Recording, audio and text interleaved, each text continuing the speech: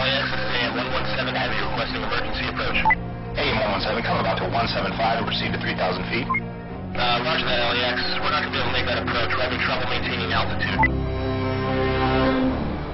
Shaping up to be a rough commute out there today. Watch for an accident on the 101 near Sherman Way. And we're just getting word that the 405 southbound has been shut down completely. Looks like some sort of police activity's got it cleared for a two-mile stretch from the 118 all the way up to Victory. As soon as we get more information, we'll let you know. But in the meantime, we'll get you through with another 40 minutes of your favorite hits on KCTV.